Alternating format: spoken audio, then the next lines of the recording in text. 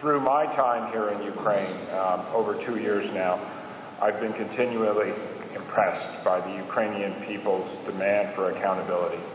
Uh, during the revolution of dignity in everyday sense, Ukrainians have persevered, often at great personal cost, in order to determine their futures.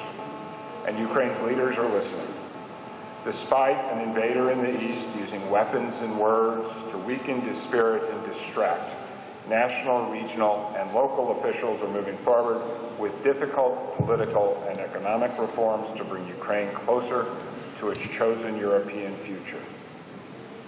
However, they, we, must not ignore an equally tenacious enemy set on undermining Ukraine's economic success, one that is equally dangerous to Ukraine's future, and that enemy, of course, is corruption.